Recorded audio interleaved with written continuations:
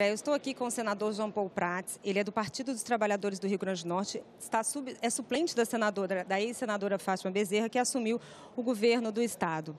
Bom dia, ele já tomou posse, já faz um tempo, e hoje está aqui para é, compartilhar a posse dos outros senadores, né, que vão tomar mais tarde. Senador, quais são as suas prioridades para o seu mandato?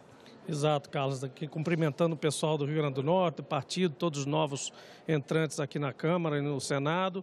A minha, a minhas bandeiras são três. Uma global, que é a sustentabilidade. Eu sempre trabalhei com energia renovável e até com recursos não, não renováveis como petróleo e gás, é, recursos hídricos, coisas que é, têm a ver demais com a nossa região Nordeste, Norte. É, também uma bandeira nacional nova, que eu chamo de democratização do sistema financeiro brasileiro, que passa pela reforma bancária, mas é muito mais além do que isso, fala de bolsas regionais de valores, fala de microcrédito, e a bandeira de levar para o meu estado, como qualquer parlamentar, é, investimentos novos, né? sair da ciranda da crise fiscal e dos incentivos fiscais é, perdulários. Então é isso, três bandeiras, uma global, uma nacional e uma estadual.